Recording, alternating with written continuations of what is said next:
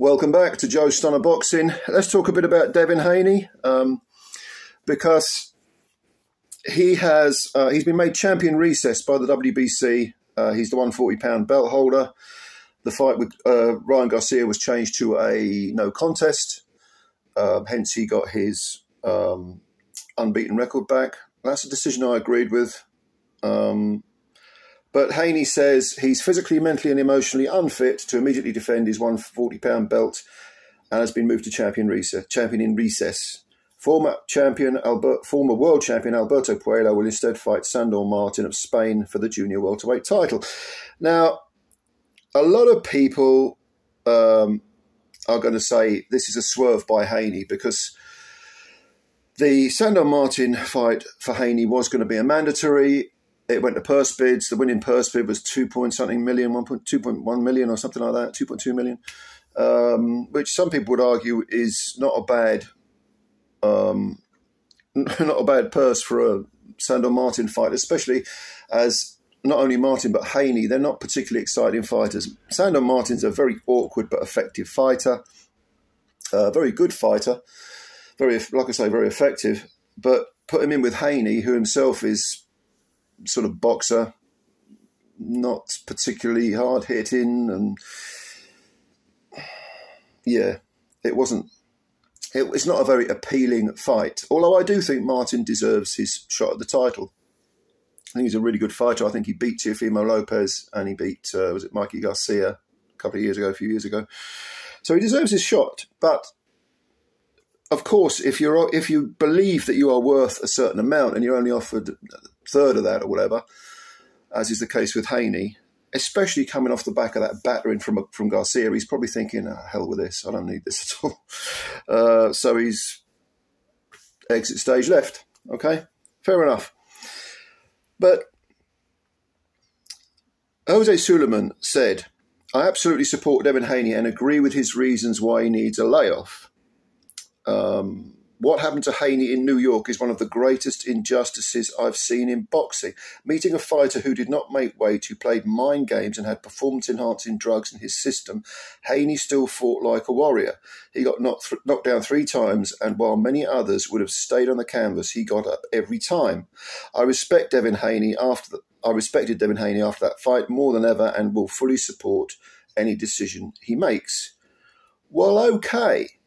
I don't actually disagree with that from Jose Sulaiman uh, of the WBC. However,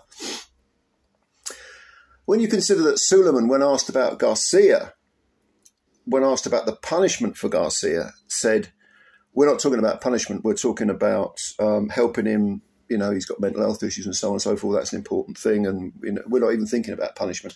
Well, look, Jose, let me explain something to you. Look, I, as I've said before many, many times, I worked for many years with people in addiction, drink, drugs, both, you know.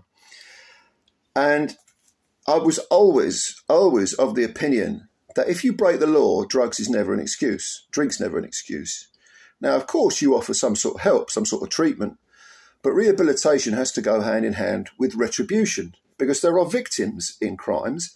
And in this case, the victim is Devin Haney. Whatever you think of Devin Haney, I know Devin Haney's not popular, and I have no horse in this race. I don't particularly like Haney.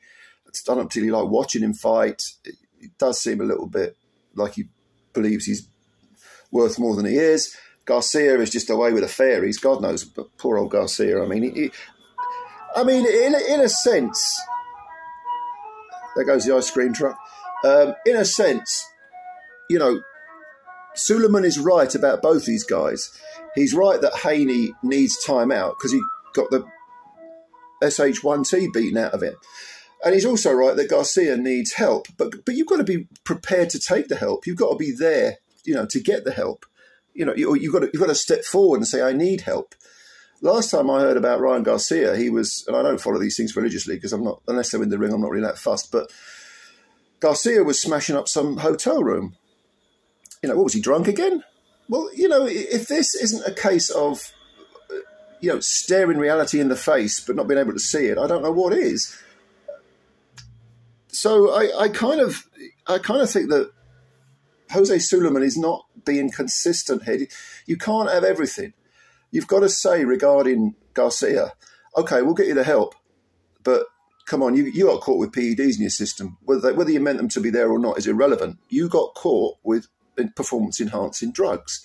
And that's that comes with a slap on the wrist. In fact, more than that should come with more than a slap on the wrist. Um, as you may know, Garcia took a year's ban, which is for a first offence. it's got to be at least two years, possibly three, but it's a year's ban. He had to give back some money, didn't he? I mean, it was. Um, oh God, what, what was it? How much did he have to give back? I know he had to give a million million dollars to Golden Boy for some reason. I thought that would have gone to Haney. But whatever the case, we are where we are, where we are where we are, and um, there's also talk of Haney, according to this little uh, thing I'm reading here. There's also a talk of Haney um, mulling over a civil lawsuit against Garcia for damages incurred in that recent fight. Um, Haney's believed to have gained eight figures in earnings from the Garcia fight. The WBC purse bid for him in in against Martin only drew one bid at top rank, and the bid to pay both fighters would have landed Haney just over 1.6 million. So yeah, that is probably that's over two million in it when you break it all down for the whole purse bid. Um, what else we got here? Yeah, Puello, who will fight Martin for the for the belt he recently beat um, Gary Antuanne Russell. Very, very good, good win for him. He's a good fighter, Puello, actually, and that was a that was a good performance against Russell. So I, I don't begrudge him. I don't begrudge Martin. Their their you know spot in the sunlight, but but champion in recess. I mean, it seems to me if I know Sulaiman's trying to be all things to all people. He's trying to say, okay, you you, you took a battering, and yes, there are extenuating circumstances, so he won't completely strip you. And he's saying to Garcia, well, you had drugs in your system, but we won't fully punish you. I don't know. I don't know. It all seems a little bit convoluted to me. Um, and to be honest with you, I don't think we'll see Devin Haney at 140 again. I think he'll probably jump up to 147 because despite the fact that he made the weight for the Garcia fight, um, he was actually talking about it being a bit of a struggle. I mean, God knows how he got to 135 for so long. I kind of showed at 135. He looked quite weak, and and then you're in against a guy who's headed up and coming in three pounds overweight at 140. If that's been a struggle, that, that couldn't have helped him. But anyway, anyway, like I say, that's where we are at the moment with this. Let me know what you think. Um, yeah, let me know what you think. And um, yeah, comments below. I'll have a read of them. Am I missing anything? Let me know if you think I am. Um, and thank you for your time. Subscribe to the channel if you are new. Spread the word about Joe Stunner Boxing and hit the like button if you like the video. If you didn't like the video, hit the like button anyway. Be generous. Show love. Uh, they apparently they count the likes. It's um, algorithms. Oh, the fucking algorithm is, but anyway, they count them. All right. Thanks a lot, ladies and gentlemen. I'll get you later. Bye for now.